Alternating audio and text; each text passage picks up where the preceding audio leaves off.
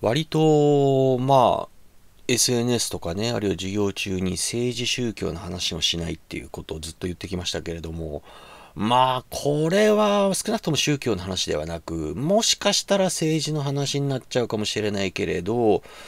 まあ僕だけが感じているわけではないと思うし、だから、こう、まあある、あることを今から喋りますけれども、うんまあでも、まあ、なんていうのかな、その僕の今まで貫いてきたポリシーを覆すことにはならないんじゃないかと思って、ちょっと、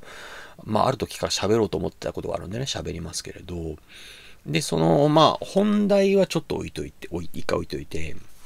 言葉って、まあ、日本語っていうふうに言って、言われているものも、まあ、いろいろな違いがありますよね。例えば、その、いわゆる方言とかもそうでしょうし、あるいは、まあ、最近日本語の場合には減ってきましたけれど、それこそその男性と女性の言葉遣いの差であるとか、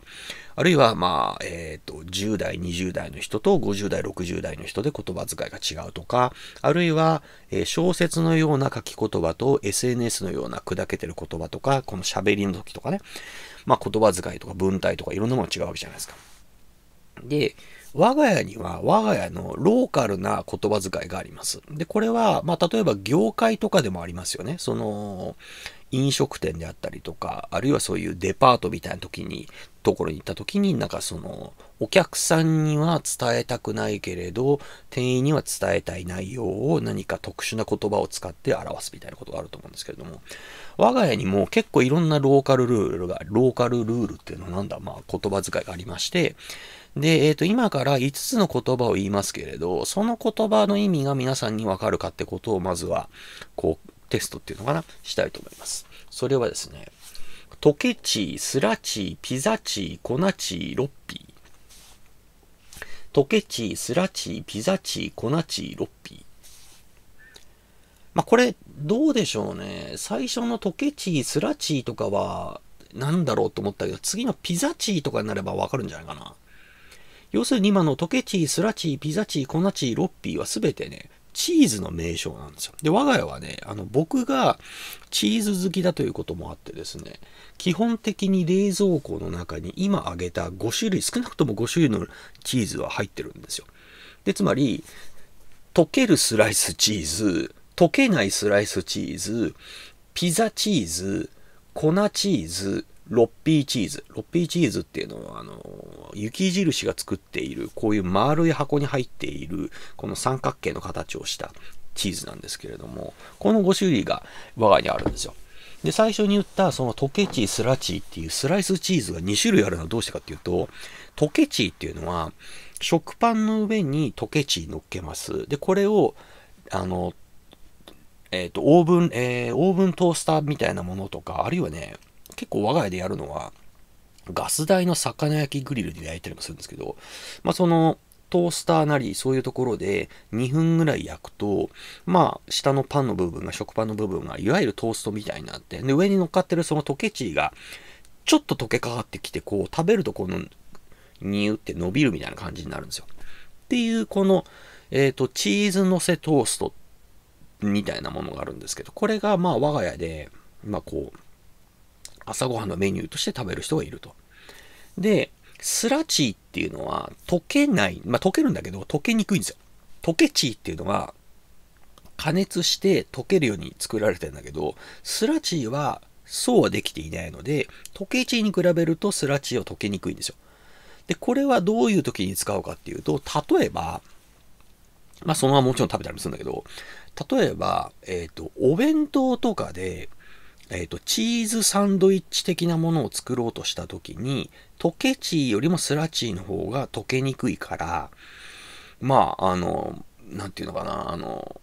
食べようとした時にデローンってならなってないよみたいな感じなんですよ。だからこのスラチーっていうのも我が家には大事で、ピザチーは例えばじゃがいも茹でたりして、その上にピザチー振りかけてグリルで焼くとかね、まあ、いろんな時に、まあ、料理で使うものですよね。で、粉チーは例えばそれこそミートソース的なものにかけるし、ロッピーは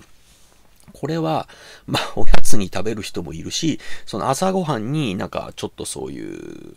なんていうの、あの、何かがあって、まあ、まあ、パンなりおかずなりが、まあ、パンなりご飯なりがあって、まあ、果物があって、で、さらにちょっとなんかチーズみたいな時に食べたりするんですね。で、まあ、そのチーズの種類を何て呼ぶか、あの、複数のチーズを何て呼ぶかは、まあ、我が家のローカルルールで、それを皆さんにお話してもあれなんですけど、何が言いたいかというと、トケチーとかスラチーっていうものが、2018年ぐらいに比べると、まずね、この1枚あたりの面積が小さくなったし、1パックに入ってる枚数が、僕の記憶が正しければ、昔ね、14枚入りだったの今12枚入りなんですよ。で、しかもそのマイナス2枚なのにもかかわらず、値段がね、倍以上に上がったんですよ。つまり物価高いよねっていう。そうするとさ、まあ、物価が上がっていくっていうのは分からなくはないんだけど、その物価が上がっていくのに比例して、まあ、その入ってくる方も上がっていけばいいですよ。で、入ってくる方は上がっていってるんですよ。実際問題として、例えば、えっ、ー、と、まあ、えー、詳しくは言えないですけれども、年齢を重ねるごとに、こう、ベースアップはあります。だ給料として、去年よりも今年1年というか、1ヶ月でいただく月給は上がってってるんですよ。なんだけど、それをこの物価の上昇スピードがはるかにこうぐわー上がってってるんで、これ、本当になんか、なんとかならないかなって思いません？この世の中のこの物価上昇率っていうのかな。本当にこ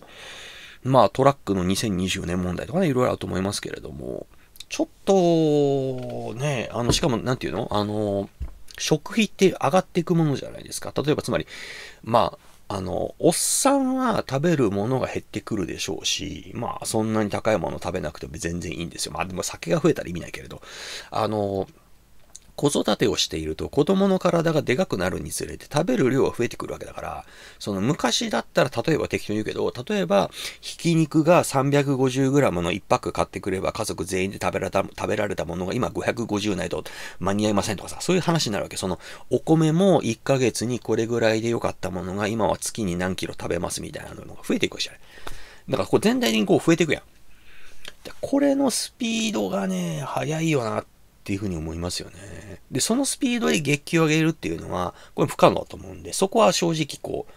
あの、執行の皆さんにすごい失礼だけれど、期待してないっていうか、そこは求めてないんですよ。だからまあ、本当にこの物価の方をね、この、まあ、世界的な問題ですよね。別にこれ日本だけの問題ではないと思うんですけれどもね。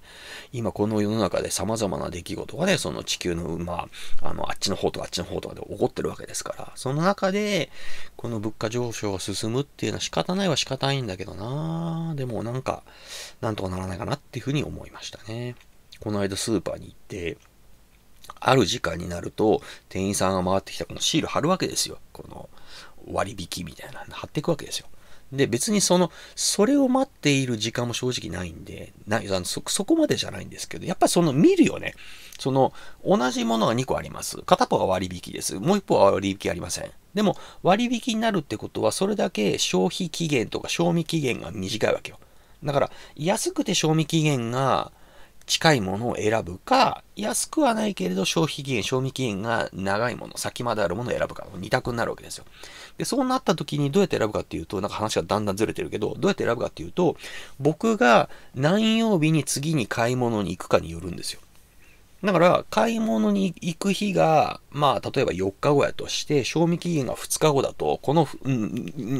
無理じゃない。